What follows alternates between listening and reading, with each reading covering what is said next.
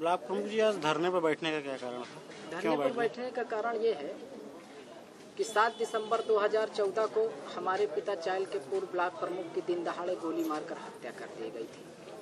हत्या में घर पहुँचे 8 दिसंबर 2014 को उच्च अधिकारियों ने कहा था कि आपको तीन बीघा ज़मीन तीन शस्त्र लाइसेंस 50 लाख रुपए मुख्यमंत्री राहत कोष से दिलाएँगे।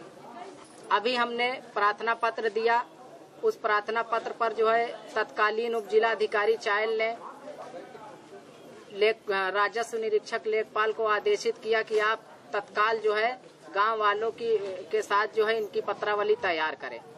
उनका स्थानांतरण हो जाने के बाद एसडीएम चायल अनिल चतुर्वेदी आ गए, जो है अनुसूचित जाति होने के नाते हमारे ग्राम सभा व मेरे भाई का पट्टा भी खारिज कर दिए जिसके लिए मैं कम से कम बीसों बार नेताओं से लेकर जिलाधिकारी महोदय से मिल चुका हूँ।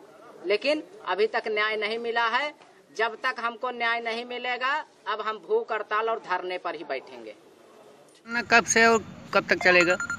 ये धरना कल 12 बजे से चल रहा है। ये धरना कल 12 बजे से चल रहा है।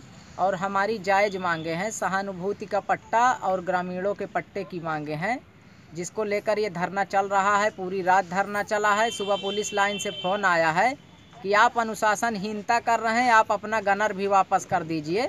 मैंने कहा कि अगर जिला अधिकारी महोदय और एसपी महोदय को अनुशासनहीनता मानती है तो ले जाए मेरी, मेरे गनर भी वापस, मैं ग्रामीणों का साथ नहीं छोड़ूँगा। मैं धरने पर बना रहूँगा, जब तक मुझे न्याय और मेरे ग्रामीणों को न्याय नहीं मिलेगा।